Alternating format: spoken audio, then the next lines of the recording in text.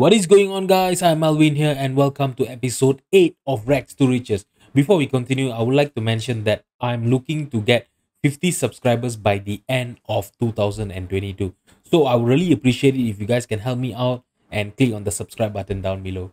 Thank you so much in advance, guys.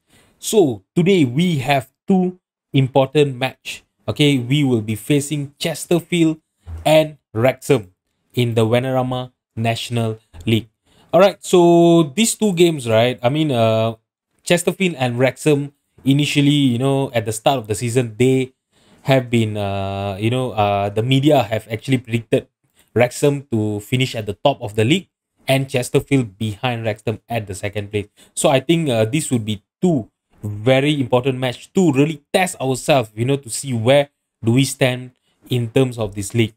You know, okay, so after yesterday's episode, the draw against uh, Solihull, okay, we actually played three games, uh, three games before today. So the first one was a win against uh, Dorking We won 1-0. It was uh, it was actually a very straightforward game. Okay, um, Darren McQueen came in from the bench and scored the only goal to ensure that we got our first three points in Vanarama National League. Okay, the second game after that, okay, we played again um, Talk. Should I call it Talk or Toke? I'm not sure. Okay, all right. So we won this game 2 1. Okay, Asante actually played really well. He actually uh, missed his first penalty in the 15 minutes, but after that, in the 36 minutes and the 53 minutes, he actually managed to score two goals. On the 59 minutes, Shawnee Barre, Josh Shawnee Barre actually got sent off. Okay, um, I was really, I, I was really afraid after that because, um, you know, I didn't wanted us to, you know, basically rule the chances and miss the chance of winning, you know, the three points. So I went defensive. We we, we focus on the counter attack. Okay, uh, they managed to claw one goal back, but we managed to keep it tight until the end of the game, and we went back with three points. Okay, okay, and after that we lost to Halifax. Okay, Halifax is actually uh, one of the team that is uh, predicted to finish above us in the league. Okay, so if you see over here, right, we were actually very, very similar. If you see, okay, uh, both of us had five shots on target. Okay, our XG was almost identical. They had an XG of 1.4. We had an XG of 1.03. Our possession was also very similar, but they were better in the final third. If you look at the rating of their attackers compared to ours, let's see, you know, Tanner with 6.4, Sean with 6.6, Thomas 6.4 and Asante 6.7. Look at their attackers. So they actually took their chances. Okay, they were better finishers than us. The only silver lining here is that Brown Sterling came in from the bench and scored our only goal in this game. So he have also scored, you know, his first goal in Vanarama National League. All right, so for today's game, like I mentioned, Chesterfield, Wrexham. I'm not gonna, you know, I'm not gonna talk so much. Let's just get into the game. So this is the team that I'm going to be fielding against Chesterfield today. All right. Uh, unfortunately, we have actually had four injuries to our first team players. Alex Finney is out for another two more weeks. Charlie Wellens is also injured for another two weeks. Craig Tanner, last season he missed uh, almost the whole season, and this season he have already started, you know, getting injuries. He'll be out for another five more weeks. All right. So in you know in relation to these uh these injuries, the starting eleven is going to be Jack Bycroft as our goalkeeper, Sean Robinson, Brian, and Luke O'Neill is going to be our back four. Edser and Nguesen will be our two central midfielder. Shawnee Barre on the left, Darren McQueen on the right, Brown Sterling and Asante as our two striker up front. I've actually decided to give Brown Sterling a chance because uh, in the you know last game he actually managed to score a goal against Halifax, right? So let's see if he can actually yeah uh, build on that performance uh, last episode and maybe score a few more goals today because uh, Kwame Thomas have actually started really bad for us. He's on a 6.8 rating and he haven't scored any goals yet. So he will be starting from the bench today. Alright guys, so if it has actually been 30 minutes in this game and we don't have any highlights. If you have a look, right, uh, both of the team, we don't have any shots on target yet.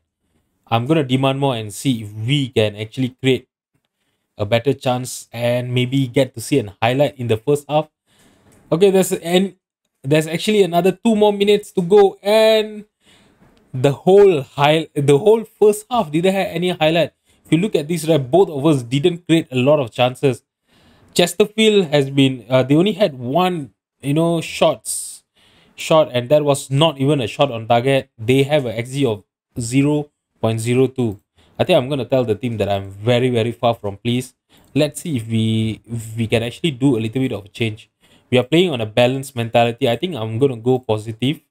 And yeah, I think I'm just gonna change that first for now. Alright, so the first highlight, we have a free kick from our half. Brian is gonna be taking it. Is he gonna do a long free kick? No. He passed it to Anguesen and Anguesen hit. Okay, so Anguesen crossed it to Shawnee Barre. That was a great header by Shawnee Barre. You know, uh, looking for Asante and a first time finish for Asante. We are leading this game 1 0. Look at the cross. Anguesen and Josh Shani Barre. That was a great header by him. Great run by Asante. And we are finally in front in this game. We are the 61 minute and there's only, you know, that was the only one uh, highlight that we got, you know, just now. Brown Sterling is on a 6.4. I'm not going to bring in uh, Kwame Thomas. What am I going to do is I'm going to bring Sean. I'm going to play Sean as our, you know, uh, left winger and I'm gonna play Darren McQueen to be as our pressing forward. Shawnee Barre can actually play as our right winger there. Okay, uh, Robinson is on a yellow card and he's on a 6.5. I think I'm gonna bring in a. I'm gonna bring in a Chris Solly for him. I was actually thinking of bringing Harris O'Connor, but you know we are only we are only leading by one goal, right? So I don't want to take the risk for it now. Okay, so now Josh looking for McQueen. Can he get a good run in?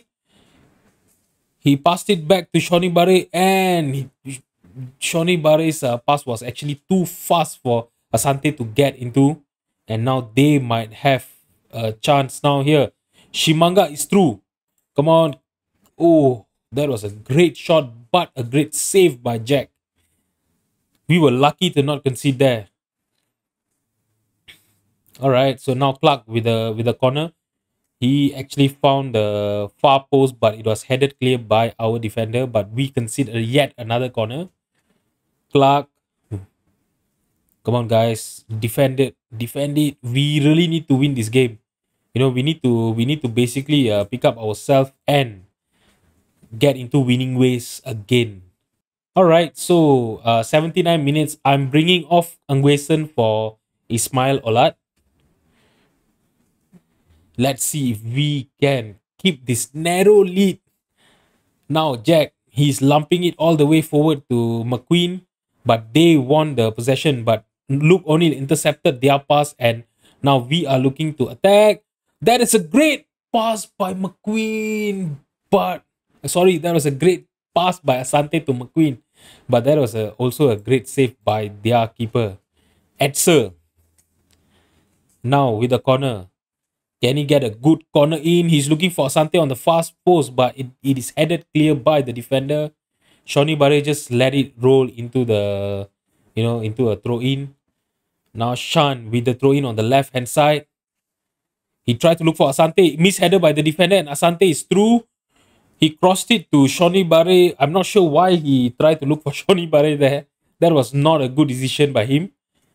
Okay, Solly headed it clear. Shawnee Barre, he lost the ball to Dobra, Dobra, and that was an easy collect by Jack Bycroft. So guys, I think the game is going to end. Oh, I thought that the game was going to end, but now Chesterfield actually have a free kick in a very good position. Oh, that was an amazing free kick. It actually hit the crossbar Oh, come on, football manager. Just, just finish this game. We are having a very narrow lead. Okay. Oh, that was not a good uh good goal kick by Jack there. Okay, Dobra on the left hand side. Oh, we are so lucky to get, you know, to to actually win this match. So if you look at the game, right, this was actually not a very good game to be honest. We only had three shots on target, Chesterfield two. Our XG was 1.05. We didn't have a lot of possession. Okay, but I'm gonna give credit whenever it's due. Okay, we still won the match. We still got our three points, so that is very important for us. So, guys, uh, with that, with that, uh, with that win, right, we are currently sitting at the 10th position with 10 points, but we actually have one game in hand. You know, because uh, one of our game was actually postponed because uh, we had five or six players that went out for a for international duty. So if we actually win our game in hand, right, we'll be all the way at the third position, you know, in the league. So things are still looking good for us. As you guys know, right, uh, the board they only want us to you know uh, finish mid table this season. We are still very much on track.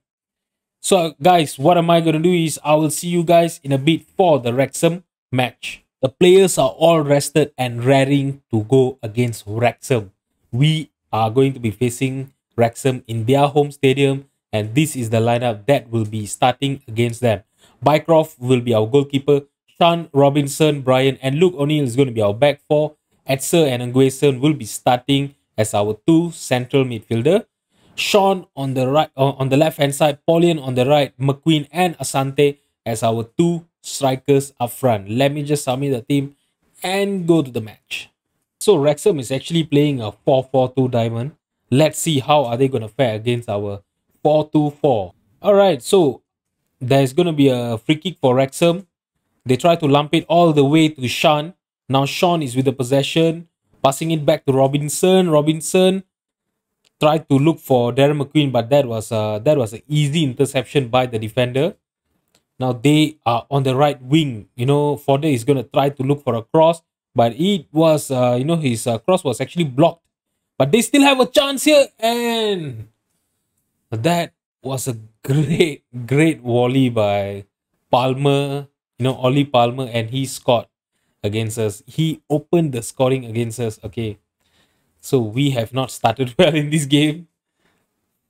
Let's look at that. Morris his cross was actually deflected um, by Edser, but it still went into the feet of their player and no chance for Jack there. You know, I don't think he would have been able to save it.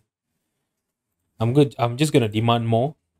Okay, so now we have another highlight. It's a it's a free kick by the uh, by the goalkeeper, but we have the possession now.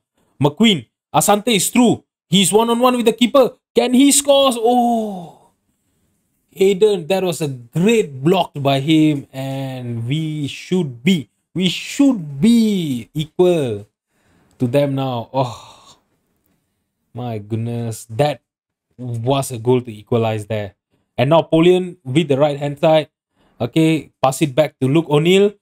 I think Asante was offside. Yeah, even if he would have got the got into the you know ball, he still would have been offside. Look at the attendance of Wrexham fans, man. There's actually quite a lot of them. And they oh, they have scored another goals against us.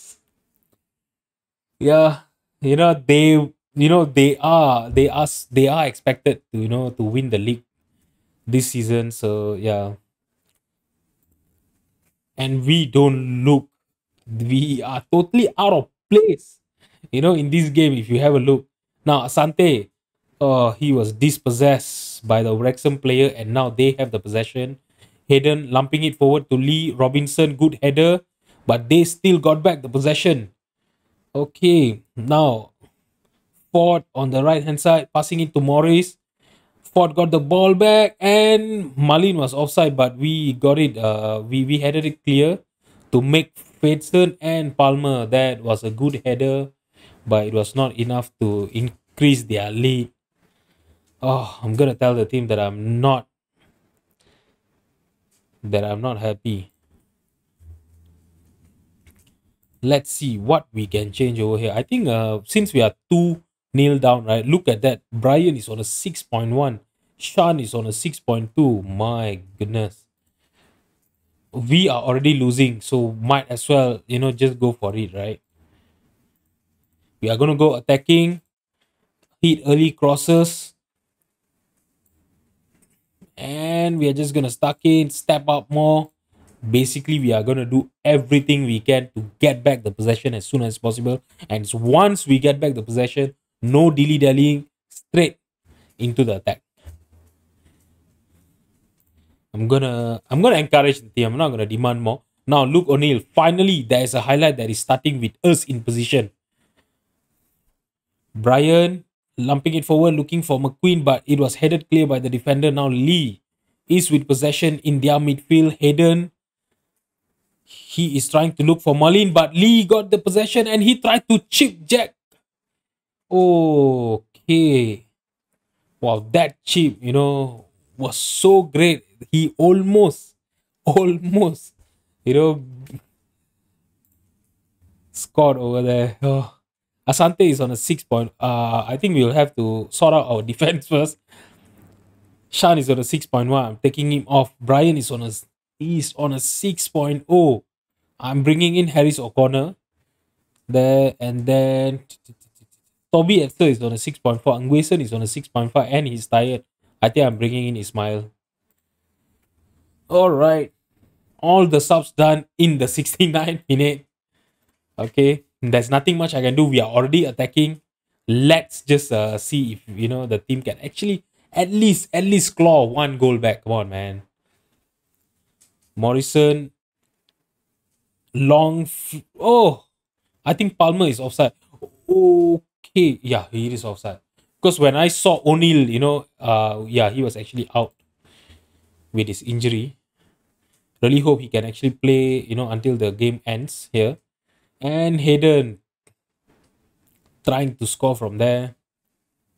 Come on, guys. We we actually had two shots on target, but you know, it was it was still not good enough, you know, for the for, for FM to even show us the highlight. They still have the possession. Robinson, we have been totally outplayed by Wrexham. Asante, Asante, Asante! Yes! Finally, finally he got one in. And oh, was he offside? I didn't even realize that he was offside. Oh yeah, he was. Okay. I really thought I really thought, you know, that would be it. At least, you know, we get to score one goal against uh, Wrexham. Robinson is now looking for Asante, uh, but it was headed clear by the defender. But Edser got back the ball, but it was not a good passing at all. Now Sean, oh, okay, oh, let's go. We finally won a penalty. I think Darren McQueen is going to be taking the penalty. He is our best penalty taker. Let's see if he can score. Oh, no! we even got a missed penalty here. All right. So things didn't go well for us today. you know, we still we still managed to get three points from this uh you know from these two games, right? So I'm not gonna I'm not gonna complain at all, guys. You know, with this uh with this uh two games played, right, we are currently sitting at the 11th position with 10 points. And and we actually have one game in hand, you see. So if we if we win the game in hand, we can be sitting at the 10th position. All right, because of the goal difference that we have. So yeah, I really hope that you know these are all the players, you know, uh Halifax, you know, that we lost to, you know, they are sitting at the playoff position. Wrexham that we lost to, we only had two lost and it has all been you know all the top i don't know the playoff bound uh playoff bound team. So yeah i think i'm not gonna complain. We are not supposed to be you know coming into a new league and straight away winning the winning the league right? So yeah i'm not gonna i'm not gonna complain at all so guys what am i gonna do is i'm gonna play through september october and november and i'll be coming in back for the game against Notts County and Bromley on the early December. All right, so these are also the two teams that are playoff bound this year. So yeah, I will come back for these two games and see how are we gonna fare against the rest of the league. You know, in these three months that is coming. So guys, if you have enjoyed the video, please drop a like and subscribe to my channel. Thank you so much for watching. I'll see you guys tomorrow. Bye bye.